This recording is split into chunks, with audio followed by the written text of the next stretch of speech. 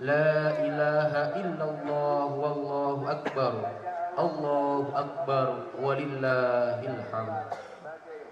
الحمد لله. الحمد لله الذي نحمده ونستعينه ونستغفره. ونعوذ بالله من شرور أنفسنا ومن سيئات أعمالنا. من يهده الله فلا مضل له. وما يضلله فلا هادي له.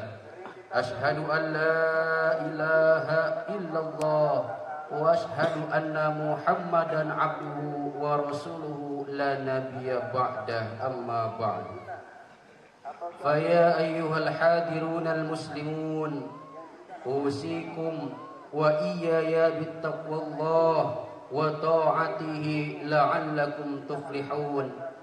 قال الله تعالى في القرآن الكريم وهو أصدق القائلين أعوذ بالله من الشيطان الرجيم بسم الله الرحمن الرحيم يا أيها الذين آمنوا اتقوا الله حق تقاته ولا تموتن إلا وأنتم مسلمون. وقال أيضا إنا أعطيناك الكوثر. Fasalli li rabbika wanhar. Inna syani'aka huwal abtar. Sadaqallahul azim. Wa balaga rasuluhun nabiul habibul karim. Wa nahnu ala dhalika minas syahidin wa syakirin. Walhamdulillahi rabbil alamin. Allahu akbar. Allahu akbar. Allahu akbar. Walillahilhamd Muslimin Muslimat Kekasih Allah Jamaah Salat Raya Idul Adha Yang dimuliakan oleh Allah Subhanahu wa Ta'ala. Alhamdulillah Itulah kalimat yang paling sempurna untuk diucapkan Menandakan bahwa kita mengagungkan dan memuji Allah Subhanahu wa taala karena memang hanya Allah lah yang maha paling pantas untuk dipuji. Sedangkan manusia dan seluruh makhluk di alam muka bumi ini hanya pantas untuk memuji. Itulah sebabnya sifat yang paling dibenci oleh Allah Subhanahu wa taala dari seorang hamba ialah sombong dan membanggakan dirinya. Allahu Akbar adalah bentuk pengakuan bahwa Allah yang maha besar. Hanya Allah yang pantas untuk disembah. Hanya Allah yang pantas diagungkan.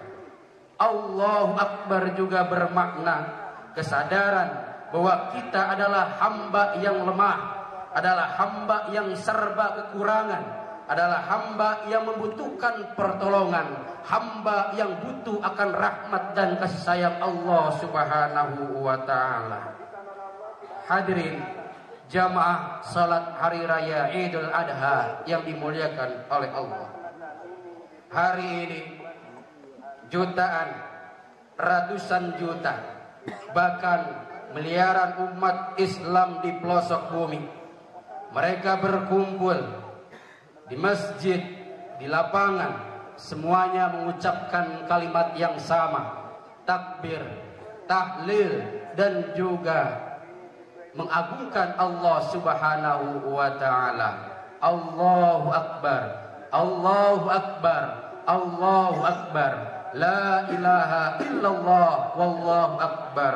Walillahil hamd. Mereka bersyukur, bergembira namun terkadang bercampur rasa haru. Karena di saat-saat seperti inilah kita sering diingatkan akan kerabat keluarga kita. Diingatkan kepada kedua orang tua kita dan juga saudara-saudara kita.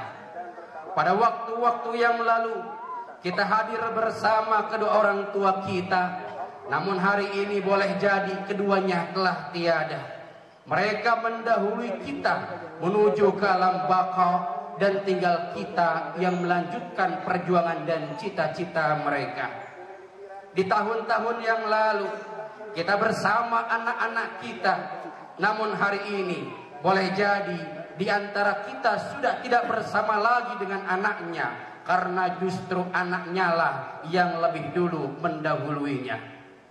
Ada suami yang tidak lagi bersama dengan istrinya karena istrinya pun mendahuluinya ke alam kubur atau sebaliknya ada istri yang tidak bersama suaminya hadir di tempat ini karena suaminya lebih dulu dipanggil menghadap Allah Subhanahu wa taala. Muncul kerinduan untuk bersamanya, tapi kerinduan hanya tinggal kerinduan. Kerinduan kita hanya dibalut dengan linangan air mata karena tidak mungkin kita kembali bersama. Kita hanya mengikuti dan meyakini suatu waktu kita pun akan mengikuti ke alam kubur. Faida jaa ajaluhum la yastakhiruna sa'atan wala yastaqdimun. Allahu akbar. Allahu akbar. Allahu akbar. Walillahil hamd. Hari ini adalah hari yang istimewa karena ada dua ibadah besar yang dilakukan di penghujung tahun Hijriah yaitu ibadah haji dan ibadah kurban. Kemarin tanggal 9 Zulhijjah jutaan orang berkumpul di padang Arafah dengan rangkaian yang sama, dengan ucapan yang sama. Mereka memenuhi undangan Allah Subhanahu wa taala, membuktikan ketaatannya, menunaikan ibadah haji dengan pakaian yang sama sebagai pertanda bahwa di hadapan Allah kita semua adalah sama. Tidak jelas mana orang kaya dan mana orang yang miskin.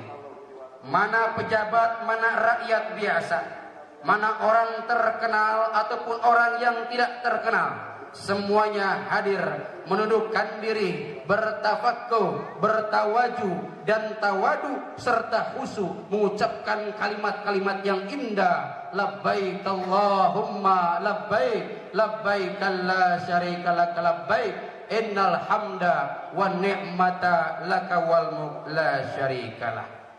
Kita berdoa semoga yang sudah menunaikan ibadah haji diterima ibadahnya dan mendapatkan ganjaran di sisi Allah Subhanahu wa taala. Pun kita berdoa semoga kita yang belum menunaikan ibadah haji dimudahkan rezekinya, diberikan kesehatan,